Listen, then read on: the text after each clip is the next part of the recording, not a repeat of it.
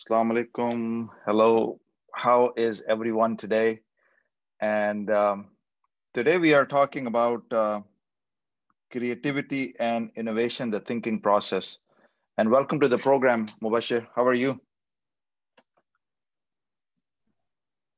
Hi. Yeah, I'm well. Thank you. How are you doing? Good. Good. Good. No, it's um, so I was thinking about uh, this this program, um, and I was looking into some examples and looking at some of the things that are happening. And I read a story about Richard Branson. You know Richard Branson? Yeah, he's a quite an iconic British entrepreneur. British entrepreneur. Yeah, you're from uh, from that region, so maybe you have more following. But he's a global, um, global. He has a global following, and the, so I want to start the conversation today with this uh, with Richard Branson, and and the airline that he created called Virgin Atlantic and I now they have other the Virgin airline. Do you, you know how he started that airline? Hmm. I think a good story is coming. So go ahead, tell us. so Richard Branson um, was was going to Virgin Islands, okay, and um, he had a plan to meet with his girlfriend and spend some time with her. Um, so he booked a flight and and everything and there's so many people who are going to virgin I, uh, island. And then a bummer uh, that flight got canceled. And what he did in that situation was quite amazing and was was quite interesting and something that started me thinking about creativity and innovation so there are two type of people, people who see a problem as a problem and people who see a problem as an opportunity. So Richard Branson saw this problem as an opportunity. So what he did was he booked, he chartered a flight. So, and then all the people who were going to Virgin Island on the canceled flight, he put those people on this charter flight and then he took these people to virgin island. He spent some time over there and then obviously he come back.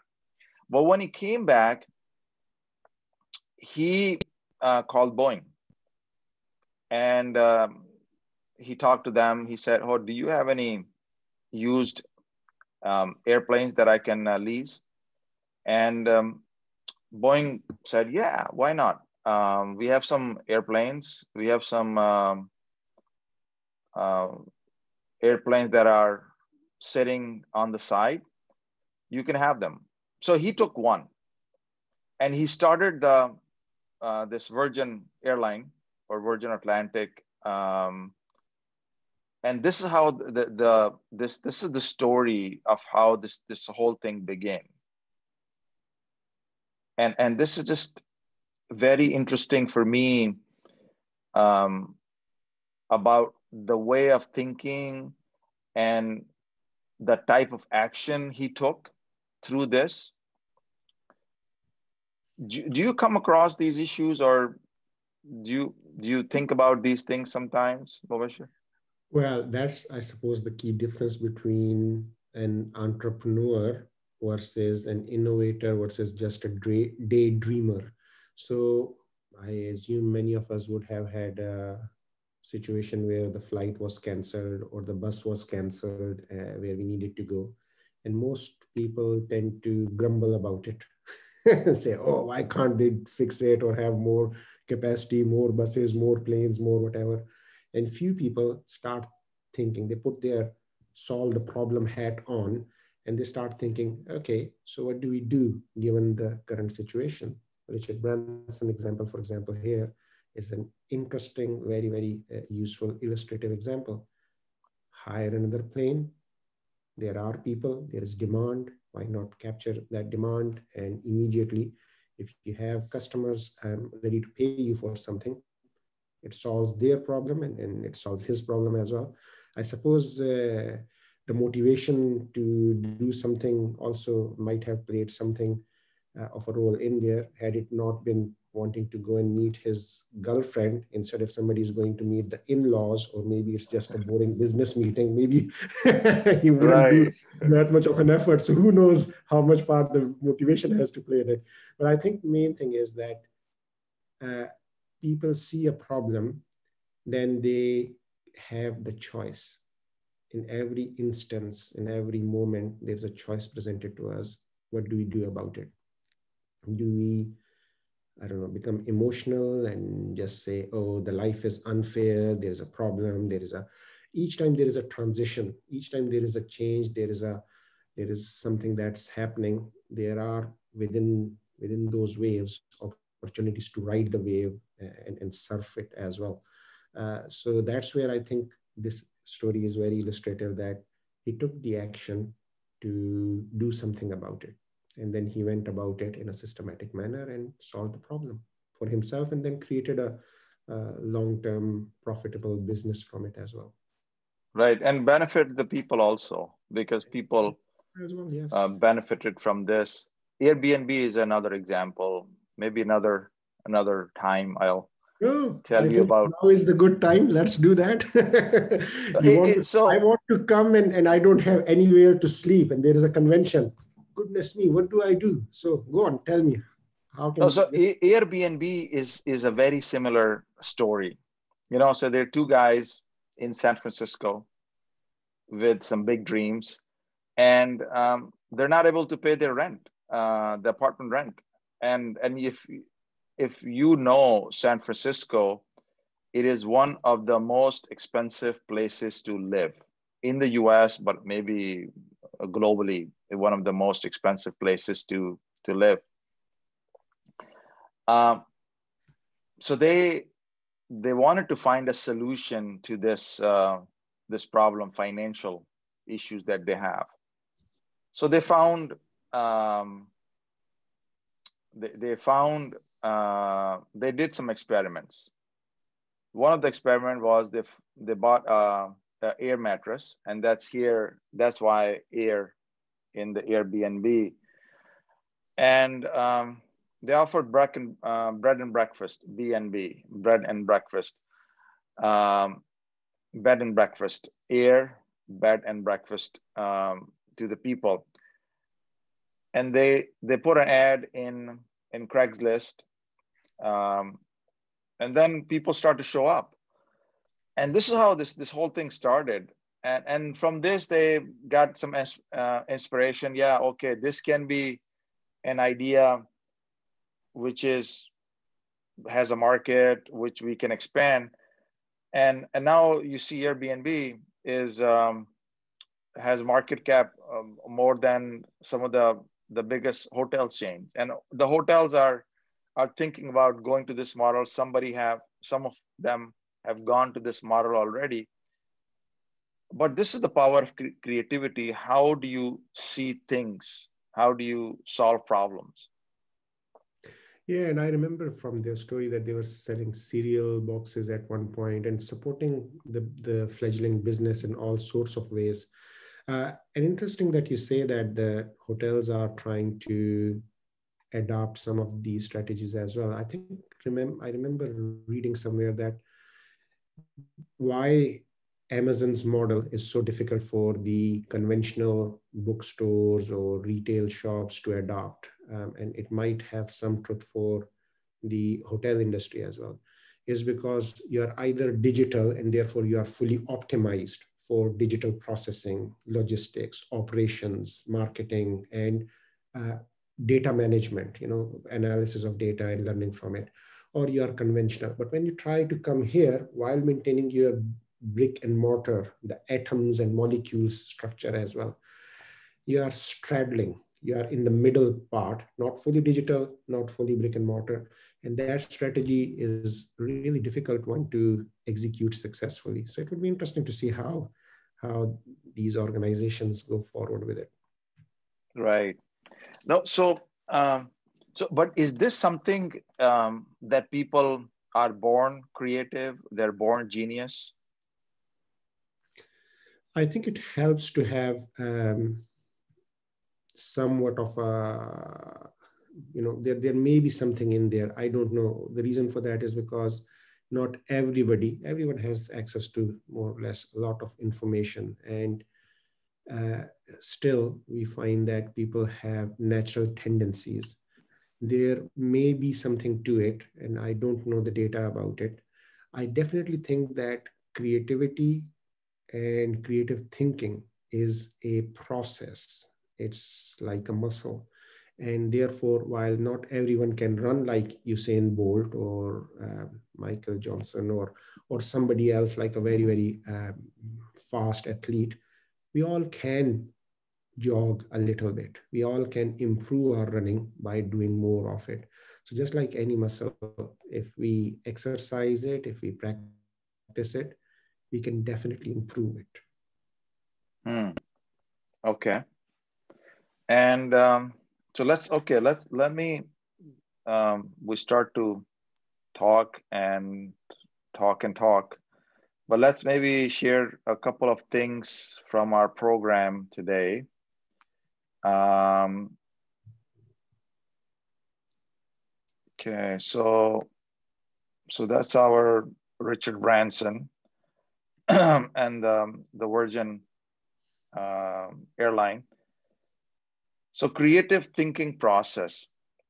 Walk us through this. Um, let's walk through this process here. Um, so there's a um, Mubbasher, this connecting the dot exercise. I always find this interesting.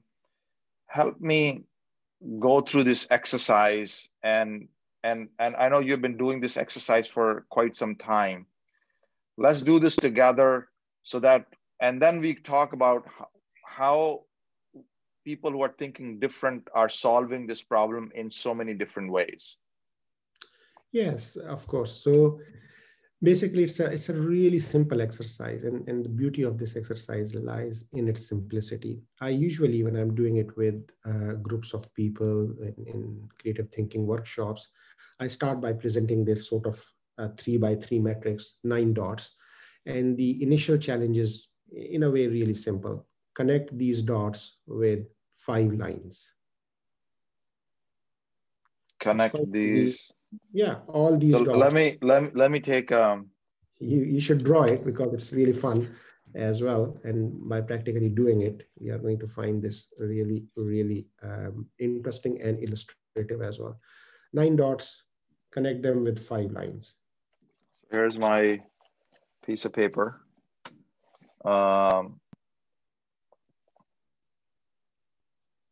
so you're saying that um, I have to connect with how many lines, Mubbasher? With five lines. With five lines. That's easy. So most people are able to do that. You know, you connect all these dots without picking up your pen from the paper. This one, this, this, this,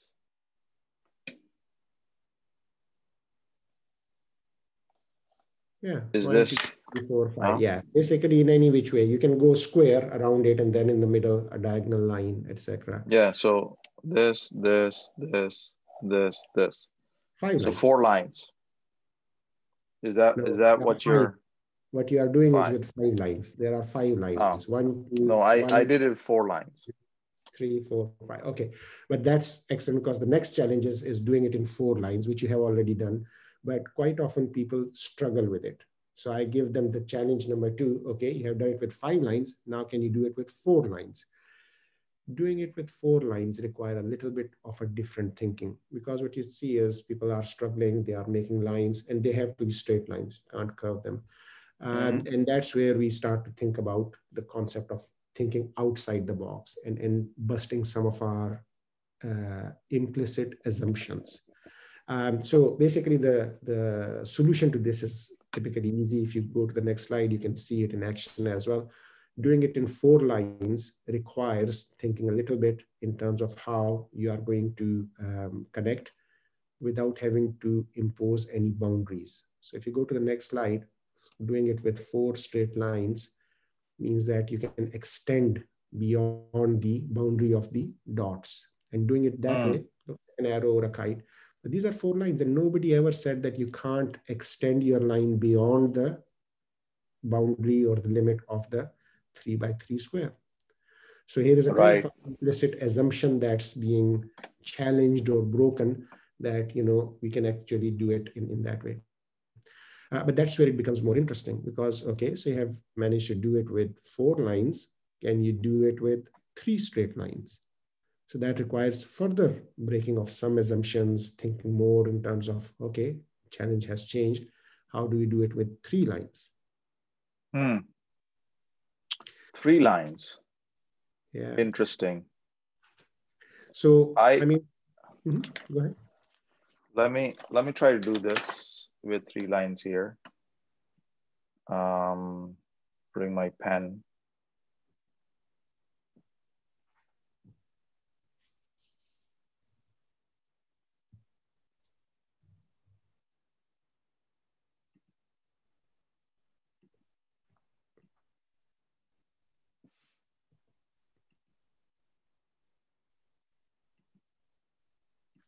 Usually I set a time limit as well. I think to them that like. Okay, so if I do. One, two, three, three. very good. But you have missed two lines. I missed two. Two dots yeah. there. Uh, maybe on the right lines you're thinking sort of on the right lines here so if you go to the next slide you can see how it's done essentially it's the same concept, but this time it's thinking in terms of do we have to let me see if i can do like this yeah. you said go outside of the boundaries yeah but we'll go a little bit more outside of the boundaries and bust another myth or assumption you don't have to connect these dots from their dead center if you were mm. to hmm. connect them just by touching them Therefore, your lines could be a little bit slanted. Would that work? Hmm. Okay.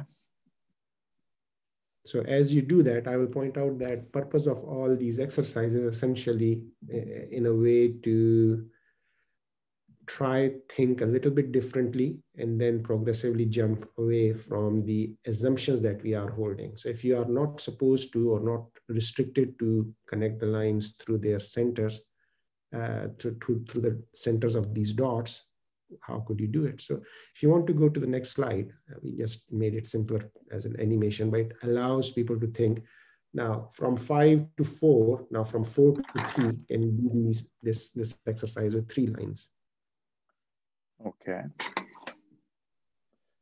I my mouse is gone for some reason.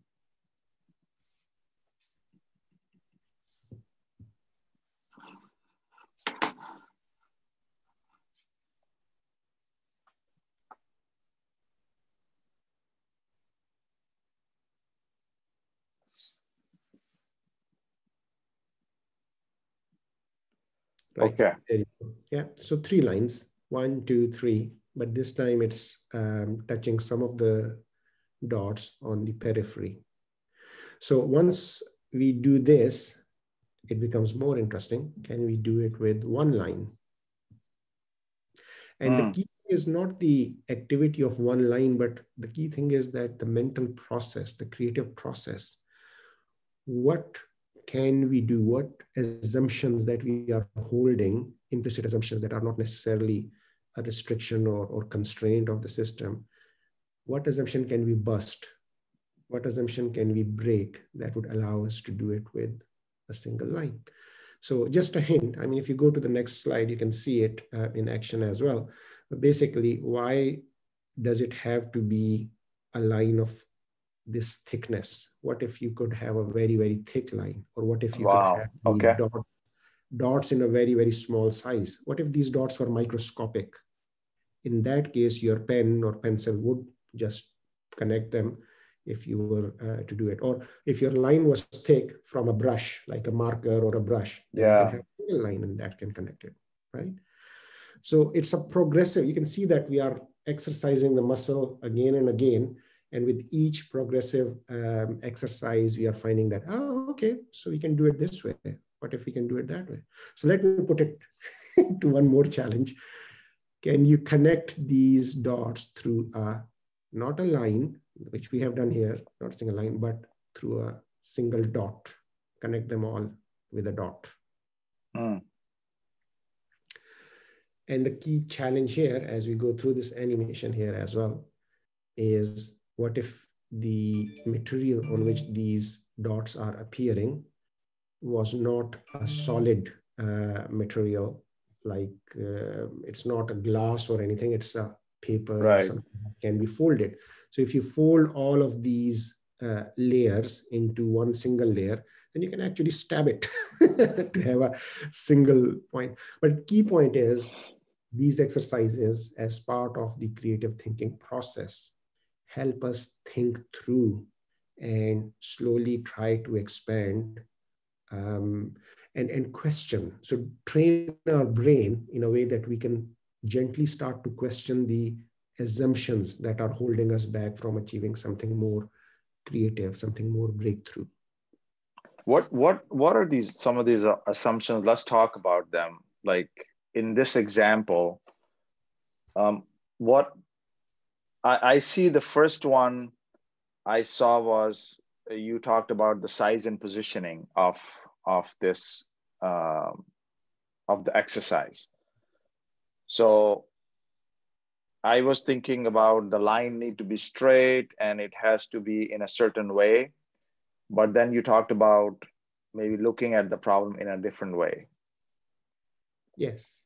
The only constraint was that the line needs to be straight, but the uh, positioning, it could extend outside the boundaries of the uh, mm. three by three dots the size of the dots or the size of the instrument with which it's being uh, done. So that's like point number one or point number three. Drawing instrument could be uh, bigger or wider or what have you. Similarly, material. I mean, is it a permanent material or can we change the material's um, shape and form? Um, and then there are kind of more interesting dynamics of it when we are addressing or looking at any problem we start to look at it from different angles, from different uh, structures and constructs. And that's something that's coming further down in the presentation with the six thinking hats methodology as well. But essentially, is there uh, some leeway in how the success criteria is going to be evaluated? What is the uh, challenge asking us to do? And where can we take some liberties can we uh, do it in a different way? So what are the, the, the, the different aspects of it that we are holding in our mind as assumptions are very, very useful constructs because they allow us, our human brains, to process information at lightning fast speed. And, you, and, and it has been essential for the human race's survival as well. Um, if you hear the rustling in the jungle in the like you know uh, in our ancestors time you don't have time to analyze whether this rustling is wind or is it just a rabbit or is it a tiger waiting for you. So you can assume that there is something big and bad there and then you can take appropriate action etc but when it comes to creative thinking and innovation process assumptions then are the sort of uh, opposite of that survival thing that helped us. Assumptions hold us back because then we are restricted within uh, some constructs and some concepts that we are not busting through.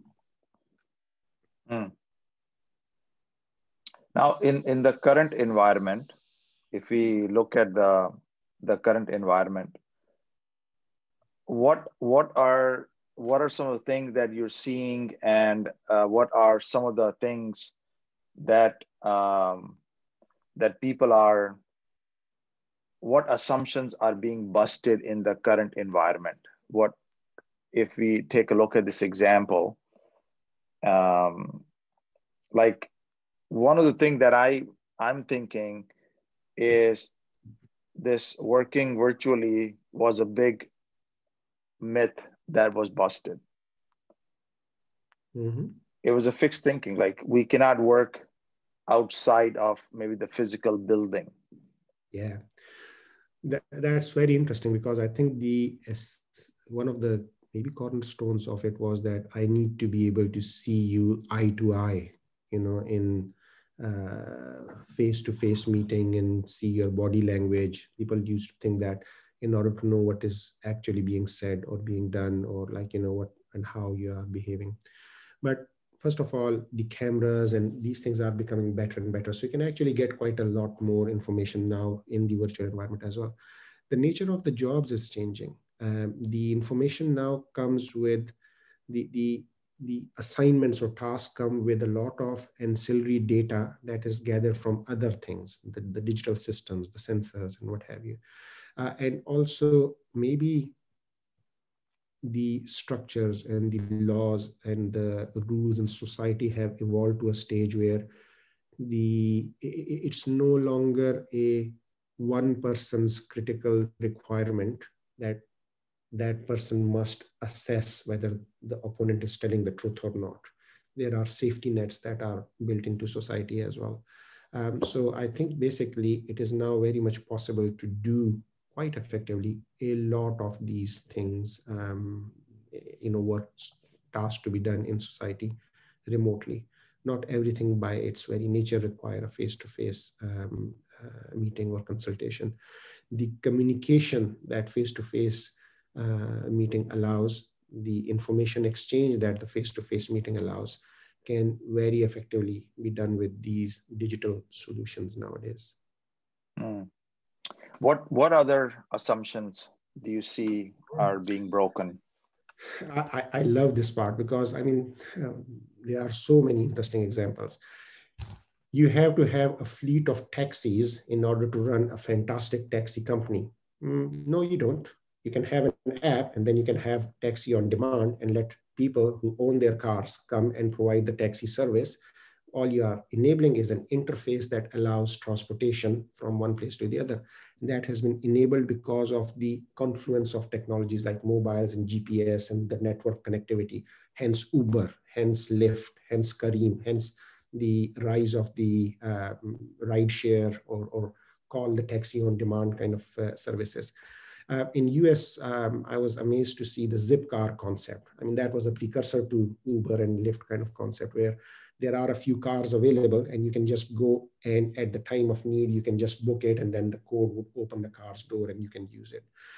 You have to have hotel chain in order to provide uh, accommodation service. So the references to Airbnb, which we were using uh, slightly earlier with regards to, you know, if you are controlling the interface for access to these resources, then you don't need to have these resources in place.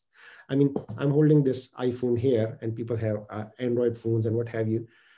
And there was a concept that you must have a keyboard for your phone. Uh, how else are you going to input the, the numbers and the text message and what have you?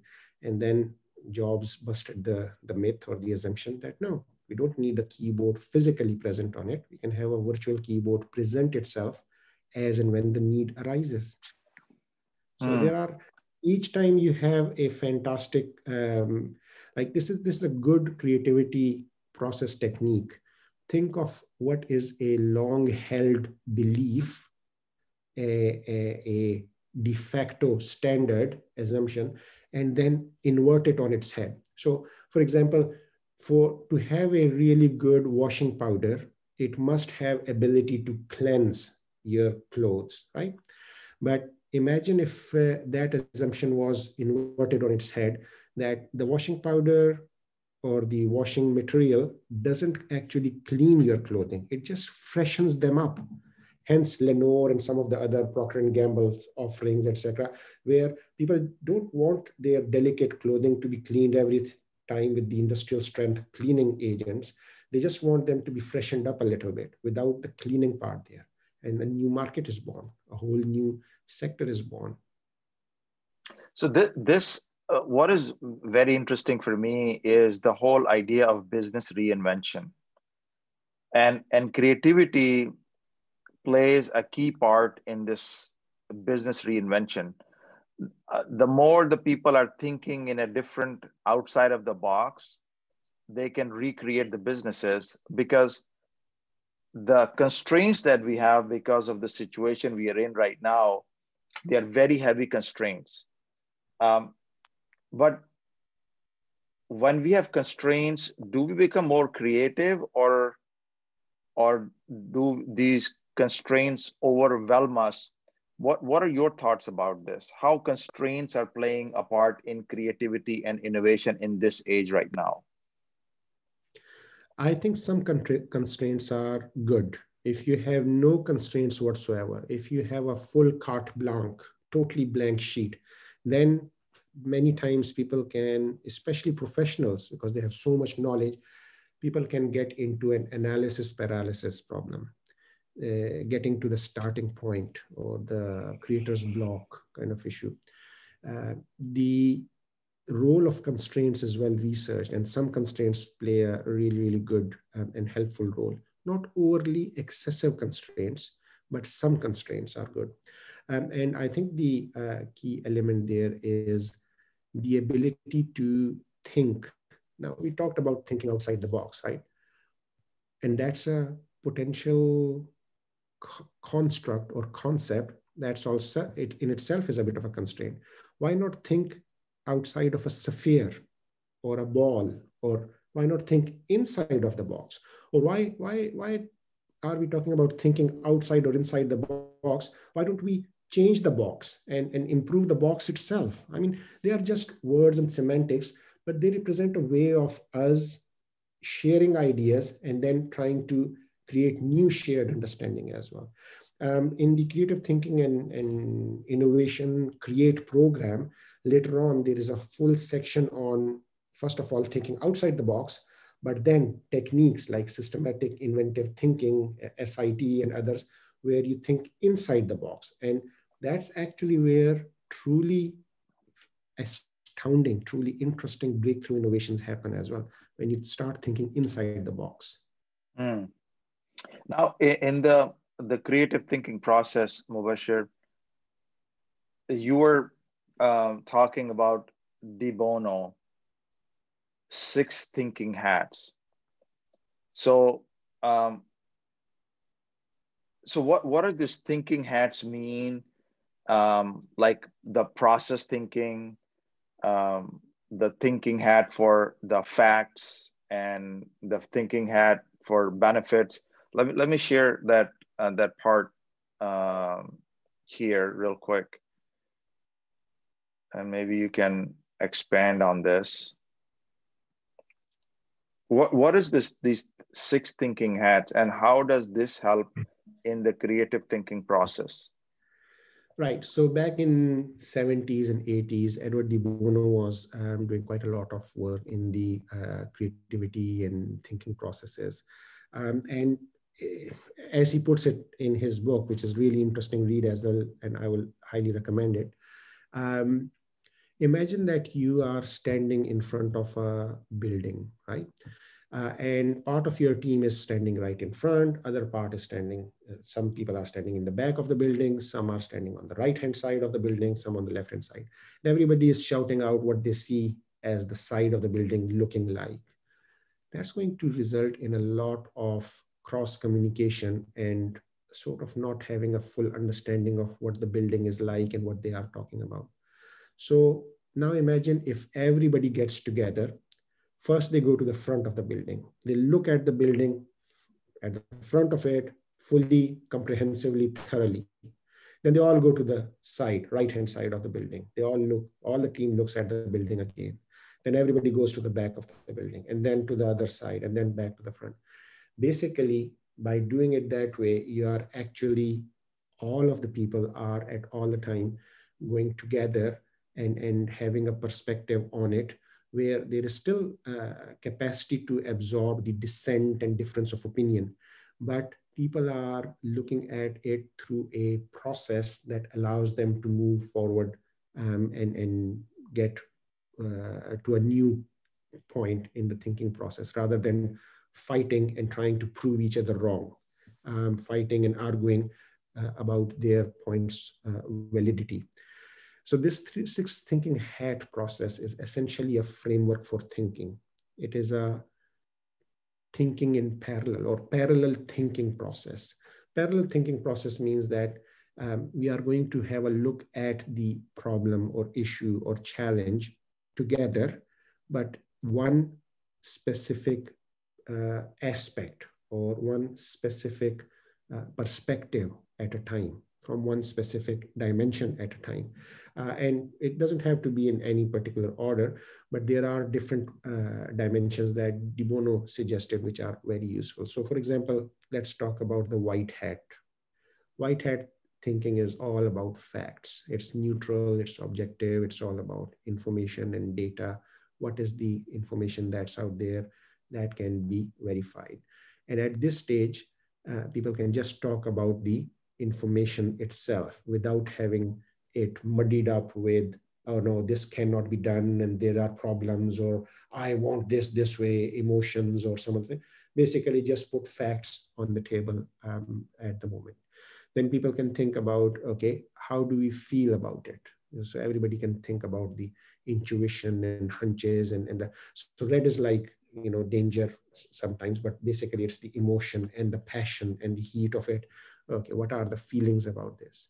You can come to benefits part, which is the uh, yellow thinking, which is uh, optimism and growth and, and positivity, uh, why this idea can be useful. What are the things that are uh, useful in the whole uh, concept of the idea?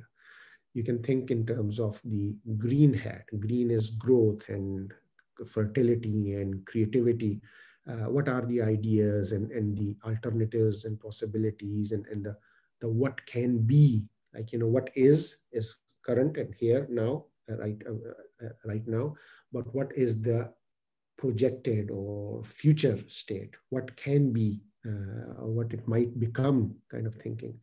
Um, and then you can have the black hat thinking which is very important which is all about uh, being cautious and being very careful looking at the counter arguments about why things might not work, what could be the difficulties, weaknesses, dangers, etc. What are the risks inherent in this whole proposition, etc. Uh, and the blue hat thinking is more about control. Think of sky, which overarches and, and covers everything. So blue hat thinking is more about um, organizing the thinking, and it's a permanent role. So you usually assign the role of uh, blue hat thinking to somebody in the team that keeps track of are we following the the uh, parallel thinking process properly? Everybody is doing green hat at the moment or white hat or etc uh, keeping to uh, administrative tasks of keeping to time and what have you. And the thing is having these structures in place in an organizational context for the meetings allows people to share and discuss things without being defensive, without being aggressive, without being uh, argumentative. Uh, a person can say, right, Mr. John, you have provided fantastic um, suggestions. The green hat thinking was fantastic. Let's all now wear uh, and, and employ a little bit of white hat thinking to find out what information about these ideas is available. Uh, and once the information has been discussed, somebody can say, right, great, you know, we have some great ideas, we have information, but let's all here, hereby wear the black hat for a little while. Let's discuss the potential risks of this whole thing. What could go wrong? Why it shouldn't be done? What are the the dangers. And once those dangers or risks are discussed, people can then wear green hat again and say, okay, those issues that have been identified, are there any ways to address them and wear the yellow hat afterwards to see how uh, the benefits would over, uh, overcome or outweigh the dangerous part of it. And then people can wear the red hat about how it would make them feel and how their customers would feel and, and what are their gut instincts telling them that is not captured in the, for example, the white hat facts and figures part of it. So it's iterative. It's not a very rigid mechanism and certainly doesn't require buying hats and wearing those hats. It's just a framework that allows parallel thinking and creating more efficient, more uh, effective, excuse me, more efficient, more effective, more constructive, more positive um, outcomes from creative thinking uh, engagements. So if we look at maybe um, um, an issue at this time, maybe if we if we are in a setting, for example, you you are an entrepreneur, you solve many problems, and you are creating many many different products. Uh, how do you how are you utilizing these six hats in your thinking process or the products that you're developing? Walk walk me through one one of your examples. Okay.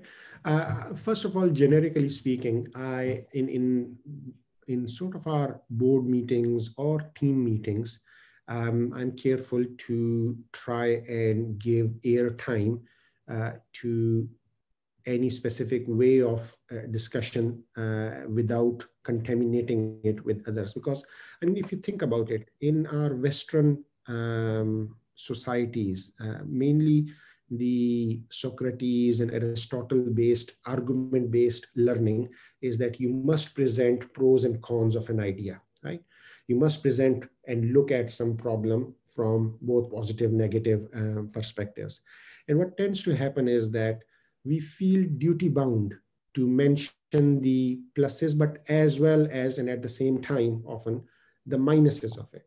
And the issue there is that if you are doing them immediately with one another, simultaneously nearly, then progress cannot be made. It's like having the car, and we used this example earlier in some place as well. If you are pressing the accelerator and the brake at the same time, then a lot of energy is being wasted without achieving movement. You have there is a place for the accelerator, there is a place for the brake, metaphorically speaking. Um, so some time ago, we had this interesting hypothetical discussion that because of uh, coronavirus, COVID-19, and since this is topical, I will use that as an example. Two industries are getting really hammered. The hotels and the tourism industry, but the hotels mainly, and the dental industry because you know patients are not going to dentists anymore and they especially for their routine checkups uh, very few are going if even the dentists are allowed to be open uh, for their urgent care. What if we combine them together? Because the problem is that in the dental practice they have just one or maybe two rooms where the clinician is working and the protocol is that once you have done the treatment for a patient, you have to wait for one and a half hours for the air to settle down, then wipe everything out, and then new patient can come in. Where do we have a place where there are lots and lots of rooms, different floors, with professional room cleaning crew that takes pride in their work. So if if on a trolley you have all the instruments and then you have patients in, in let's say 20 rooms in one floor of a hotel and the dental team just goes from room to room treats the patients using the lift goes up to the next floor starts treating patients there and these patients from the first floor go back and their rooms are cleaned by the professional cleaning crew. You can maybe help and save two industries um, at the same time. Now this is the kind of if you think about it in terms of multi-hat thinking, this is the green hat thinking. This is the yellow hat thinking about the optimism, about the creativity, about the ideas. But then you start to think about the red hat thinking. How would people think about it or feel about it? How would they feel about going to a hotel and trying to do it? How would the authorities think about it? So there are some white hat thinking aspects into it that what are the facts and figures of can this be done? Are there rules and regulations that would stop you from doing it? And some black hat thinking with regards to are there actual risks? Because if something goes wrong with a patient, then you don't have access to a whole lot of other stuff that in a hospital or dental practice you have. Then what are you going to do with the emergencies? Uh, what are actual uh, issues, contingencies? What are the risks that uh, uh, uh uh, an operation like this uh, doctor or a patient might face, in which case those need to be addressed. But doing it in a systematic manner in this hypothetical scenario allows a team to evaluate an idea from different perspectives in a parallel thinking process. Mm. Very interesting. You know, um, this week I was having a conversation with a friend um, who was managing some investment properties. And with this current environment, um, you know that the commercial properties are impacted. People um, people don't see a need for office space. People are saying, okay, let's we can um, do this work from home. Smaller companies, they're saying, okay, we don't need office. We'll just work from home. Um, so we we were discussing some ideas uh, that how we can transform the business. What are the new trends? Um, and and this whole idea about business reinvention, because that industry uh, is is thinking um, very very strongly at this time that how to um, reinvent, reimagine this um, this this market where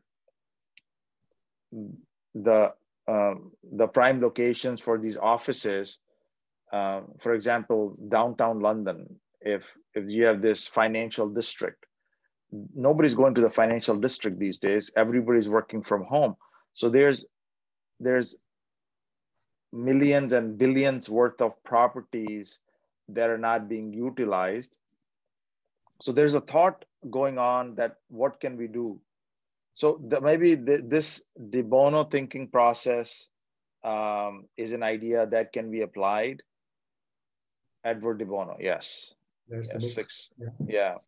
So this can be applied and and this whole idea of maybe to think outside of the box and inside of the box is, is I think is very relevant at this time so that people can find solutions of these problems because the solutions I, I believe eh, they're not going to come from the traditional thinking the yes. traditional thinking is that if we we are thinking in a traditional way that how are we going to solve this problem all this all this commercial real estate how are we going to repurpose this commercial real estate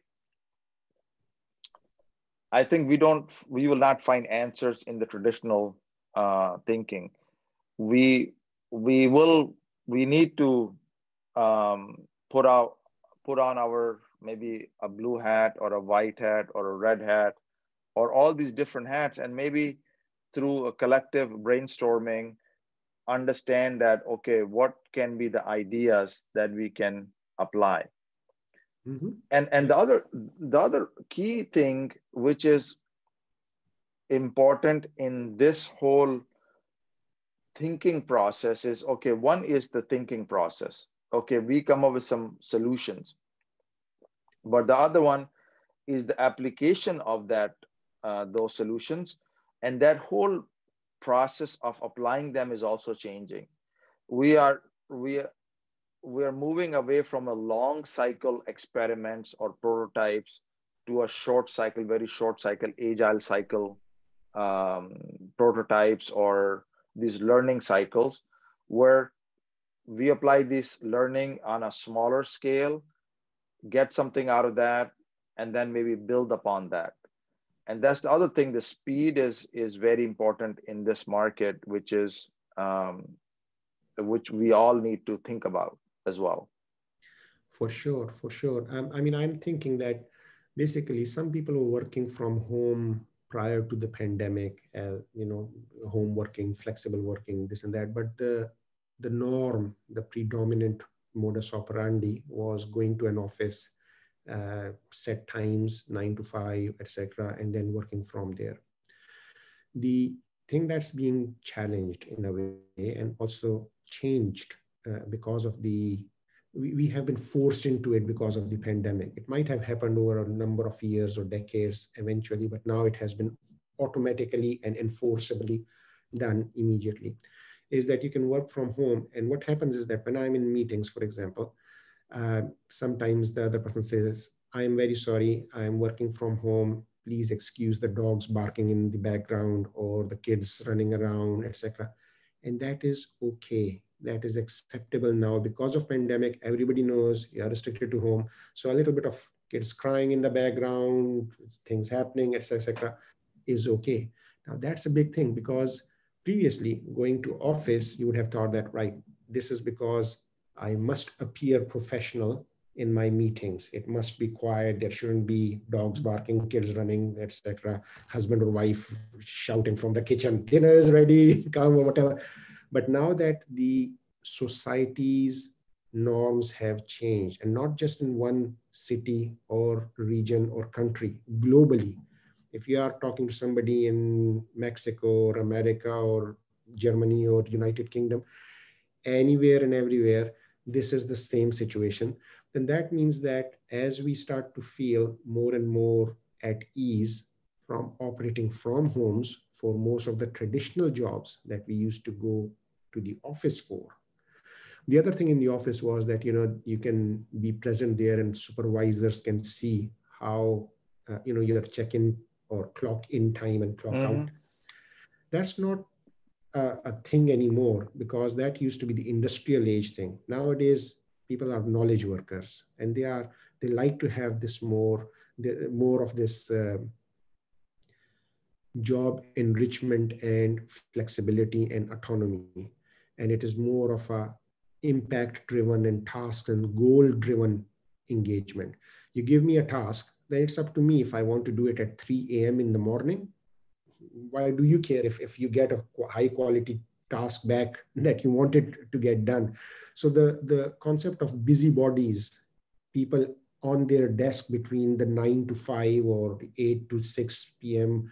Uh, period, if that's not there, if communication like what we are doing is rich communication, it is more efficient. So I don't have to be stuck on the highway or freeway or motorway or, or uh, in busy traffic um, areas in congested cities, worrying about parking and the parking meters and, and the expense of that.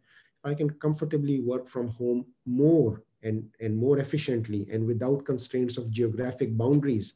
I mean, you are across the pond, so to speak. I'm here in UK, you are in United States of America but we are effectively able to communicate and coordinate, then why and under what circumstances would people need to come to commercial real estate? What kind of tasks would mandate? And those would be new things, new tasks, because the traditional tasks are now being shifted to home working and quite effectively so. And once uh, how they say once the lion gets the taste of blood once people know this is what we can do they're going to say why do i have to be there? If i am able to deliver it i was doing it for seven eight months. You never had a problem with that. Now that suddenly the pandemic is over yeah. or the government says you can go but i don't want to go. I have kids here. I want to spend time with them. I guarantee you you will get the things that you need from me the article the logo design the program the software whatever. In the knowledge industry the knowledge can, because it's bits and bytes, it's electrical signals, they can travel much more easily than the atoms and molecules, the physical things. So I would imagine that almost all, well, I would say most of them, if not almost all of them, uh, knowledge work related activities are going to be location independent and that was there were signs. I mean you have multinationals people are working from malaysia and london and kuala lumpur and and houston or wherever else and they are coordinating their meetings uh, remotely. But now it would so six six so six months from hawaii and six months maybe in in downtown london. That's that's what uh, i'm yeah. doing. Starting yeah, exactly. next Why year. not? next year exactly. six months on the beach and then six months in the the center of the city or florence or some of the, the cities that i i love. So this is where organizations would start to need to think differently that what are the specific circumstances? Under what situations and circumstances and circumstances and conditions do people need to be in the same location and place I mean, creative thinking might be one of those, but there could be some more compelling reasons. And if they don't or can't find those kind of reasons, people are going to work more effectively in a distributed mechanism, then there is a real and enduring problem for the real estate owners or organizations. Why would somebody, the, the benefit has to overweigh the inconvenience and, and hurdles. If I go into what we call the city center, you call the downtown London, and it's all congested, and big cities usually are. If I have to fight the traffic jams and the parking spaces and this and that, and then that's just too much of a inconvenience and hurdle. There is right. not that much of a benefit to, to achieve. So I think as we go forward, we would need to find um, aspects that allow, that makes sense for majority of the people to come together for utilization of that space. If there isn't a use case for it or, or a new use case for it, then I fear, I suspect that the difficulties and the woes of real estate owners are probably going to continue. Mm. Okay. No, I think we can maybe in one of the sessions we can go deeper in this topic more. Um, but anyway, I think we are out of almost out of time, and um, this today was a great discussion about the whole process of thinking and and thinking creatively. Um, so session number uh, this was session number seven, um, and then we're gonna do one more session on creative thinking, um, which will be two two weeks from now. Um, so I'm really excited about bringing this information and engaging in this type of dialogue with you, Mubbasher. Um, let's continue the dialogue and um, we'll let's stay in touch. Absolutely. Okay. Okay. All right. Thank you. Thank you very much. Bye.